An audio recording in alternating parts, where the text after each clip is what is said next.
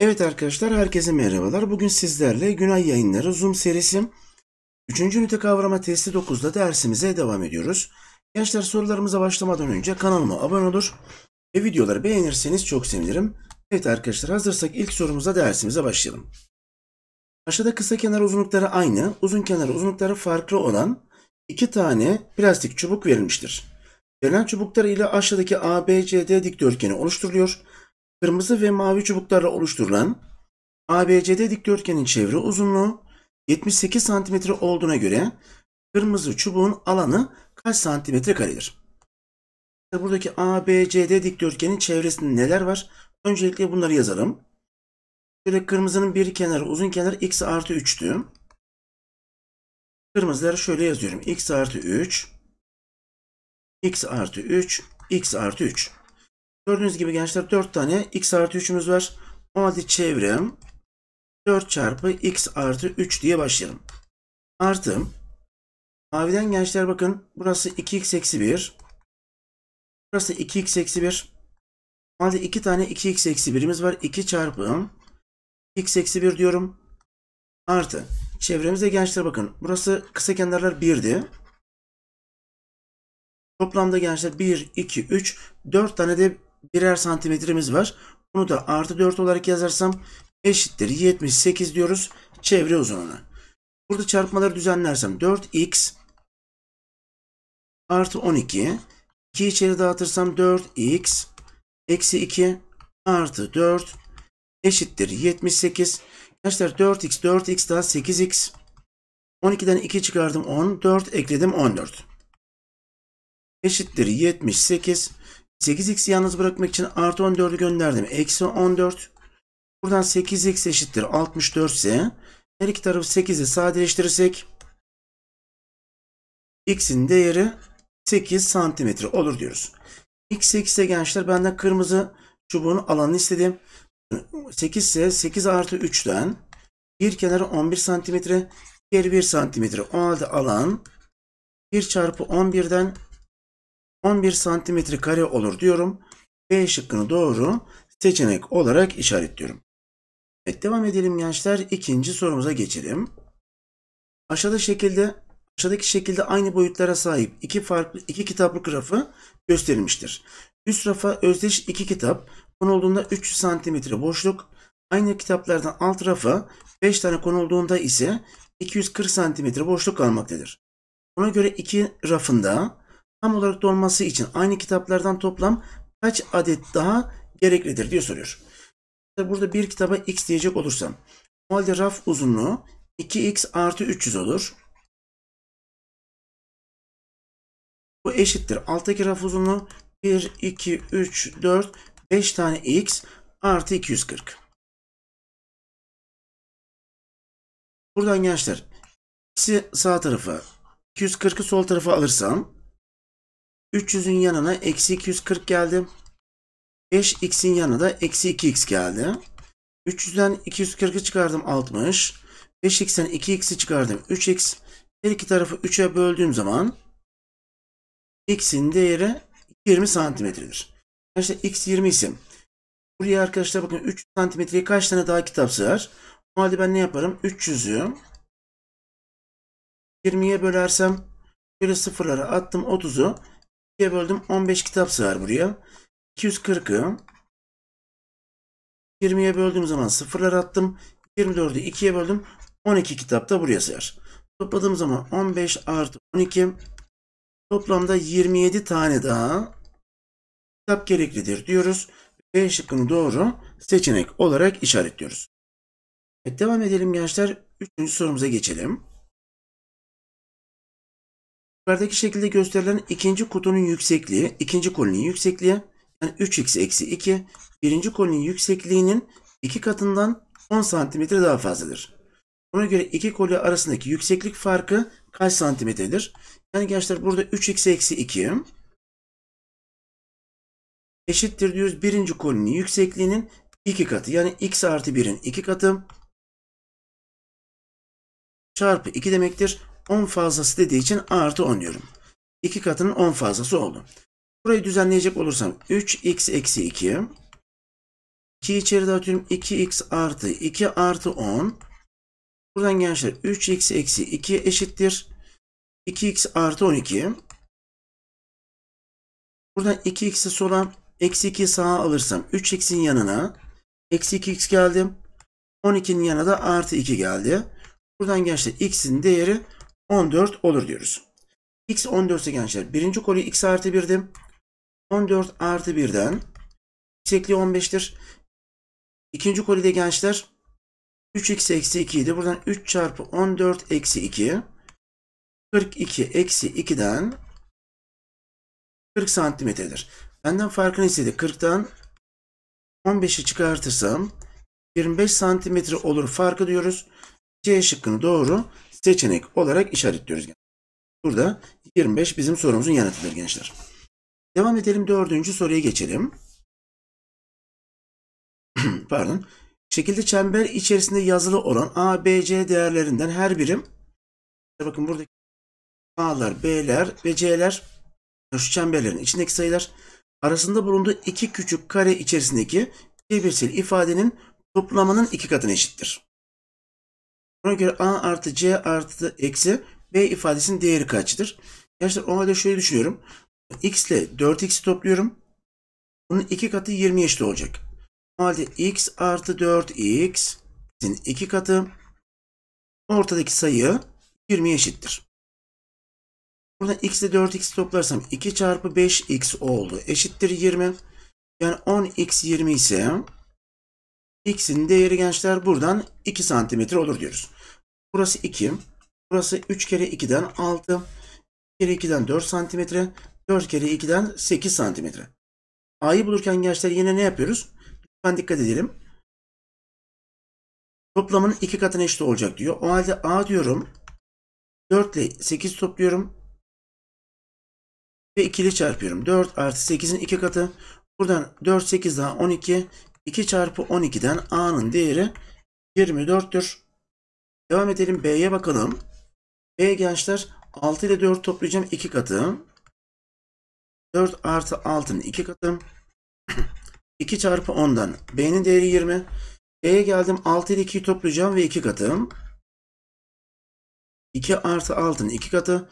8 2 ile çarparsam 2 çarpı 8'den 16 santimetredir. Benden A artı C eksi B istedi. A 24'tü.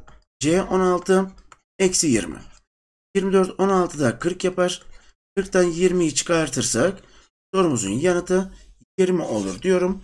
A seçeneğini doğru yanıt olarak işaretliyorum. Devam edelim gençler. 5. sorumuza geçelim. AB, aşağıda ABC üçgenin kenar uzunlukları santimetre cinsinden verilmiştir. Çevre uzunluğu 46 santimetre olduğuna göre BC uzunluğu yani x kaçtır diye soruyor. Gençler çevrede tüm kenarları toplarım. Bakın x artı 2x eksi 3 artı 3x eksi 5 ve bunun toplamı 46'ya eşittir diyor. Buradan x'leri toplarsam 3x, 5x, 6x eksi 3, eksi 5 daha eksi 8 eşittir 46 ise eksi 8'i karşı artı 8 olarak gönderirsem 6x eşittir 46 8 daha 54'tür. Buradan x'i bulmak için gençler her iki tarafı 6'ya böleriz.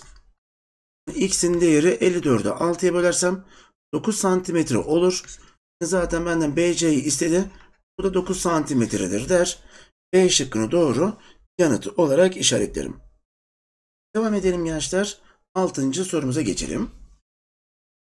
Marangoz Ali Usta yüksekliği 16x eksi 15 cm olan bir dolabı kalınlığı 5 cm olan tahta parçaları ile 4 eşraf olacak şekilde bölmelere ayırıp ayırarak bir kitap oluşturuyor. Buna göre Ali Usta'nın oluşturduğu kitapların rafının yüksekliği 50 cm olduğuna göre x kaçtır? Gençler bakın bunlar 50 cm ve bunlar birbirine eşit. 1, 2, 3, 4 tane raf var. O halde 4 çarpı 50 artı. Burada gençler bu çıtaların kalınlığı 5 cm. 1, 2, 3, 4, 5. 5 kere 5. Bunları düzenlersem 4 kere 50 200 artı 5 kere 5 25 o halde 225 santimetre olur. Bakın buradaki yüksekliğimiz. Yüksekliğin tamamı 225 santimetre. Yani 16x eksi 15 eşittir. 225 ise eksi 15'i karşı artı 15 olarak gönderirsek 16x eşittir. 240 olur. Evet x'i yazalım. Her iki tarafı 16 ile sadeleştirirsem buradan x'in değeri 240'ın içine gençler 16 15 keredir. X'in değeri de 15 santimetre olur diyorum. Ve buradan B şıkkını doğru yanıtı olarak gösteriyorum. Devam ediyorum gençler. Bir sonraki soruya geçiyorum. 7. soruda yukarıda verilen dikdörtgen ve karenin çevre uzunlukları birbirine eşittir. Karenin çevresi 56 santimetre olduğuna göre dikdörtgenin kısa kenar uzunluğu kaç santimetredir? Şimdi gençler kare olduğu için çevresi bir tane kenarı 6x eksi 4'ü 4 ile çarparım. Eşittir 56 santimetre. Buradan 4'ü içeri dağıtırsak 4 kere 6 24x 4 kere eksi 4 eksi 16 eşittir 56. 24x'i yalnız bırakmak için eksi 16'yı gönderdim. Artı 16. Buradan gençler 24x 6 6 daha 12 elde var 1. 5 1 daha 6 1 de elde 7. 24x gençler 72 eşitse x'i bulmak için her iki tarafı 24'e bölersem x'in değeri 3 santimetredir. Gençler x 3 ise dikdörtgenin bir uzun kenarı 5 çarpı 3 artı 3'ten 5 kere 3 15 3 daha 18. Burası 18 santimetre. Burası da 18 santimetre. Şu kısa kenarları bilmiyorum gençler. Buraya A dersem çevre 2 tane A var. Artı 2 tane 18 eşittir. Yine çevre uzunlukları eşit dediği için 56 eşittir. 2A artı 2 kere 18 36 eşittir. 56 ise 36'yı gönderdim. Eksi 36. Hadi 2A eşittir 20 olur. Her iki tarafı 2'ye bölersek A'nın değeri 10 santimetre olur. Zaten benden A yani dikdörtgenin kısa kenarını istedi. B şıkkı sorumuzun doğru yanıtı olur diyoruz. Devam ediyorum ve 8. soruya geçiyorum. Balıkesir'de Yaylada ve Esas 10 adlı alışveriş merkezlerinde bulunan iki farklı sinema salonuna ait öğrenci ve tam bilet fiyatları aşağıda verilmiştir. Bu iki sinemaya ait, sinemaya cumartesi günü giden seyircilerle ilgili aşağıda bilgiler veriliyor gençler. İki sinemada toplam 1920 TL tutarında bilet satılmıştır. Yaylada ve Esas 10'da satılan bilet tutarları birbirine eşittir. Arkadaşlar eğer e, tutarlar eşitse ben 1920'yi ikiye bölersem her birinden 960 TL para kazanılmıştır derim. Her birinden elde edecek gelir 960'lar TL'dir. Devam ediyorum. Yaylada sinemaya giden gidenlerin üçte biri tam bilettir. Esas onda sinemaya gidenlerin dörtte biri öğrenci biletidir. Gençler Yaylada sinemaya gidenlerin üçte biri tam bilet. Hadi şöyle Üçte biri tam biletse gençler tam bilete x dersem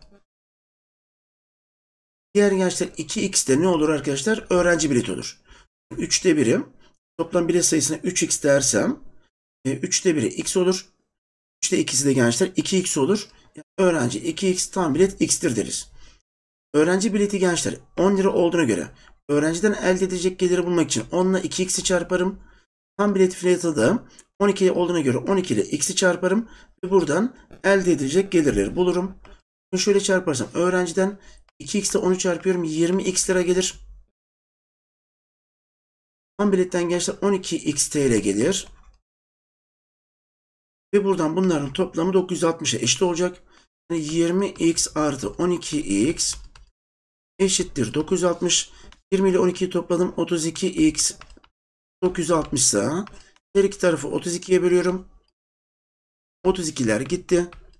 X'in değeri 96'ın içinde gençler 32 3 kere var. Bir de 0 ekliyorum. X'in değeri 30'dur. Gençler X 30 benden yaylada olanın gençler Ne istiyor? Toplam öğrenci biletlerini istiyor. Yani da 2x tane öğrenci vardı. O halde öğrenci sayısı